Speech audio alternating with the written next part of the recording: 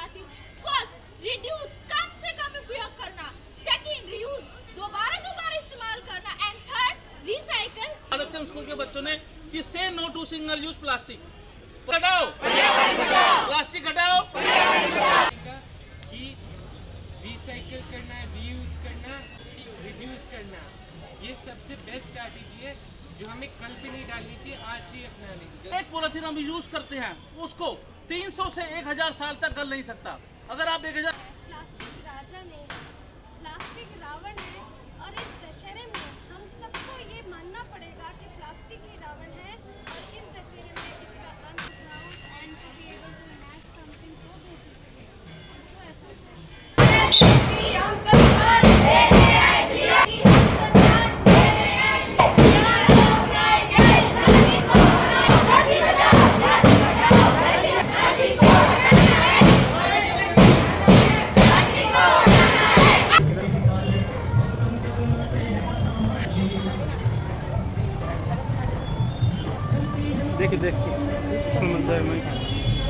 है वो हरियाणा सरकार पर केवल और केवल इसलिए ही सौ करोड़ का जुर्माना किया है कि उन्होंने जो पर्यावरण से संबंधित नियम और नियमावली है, उसका, उसकी पालना नहीं की है।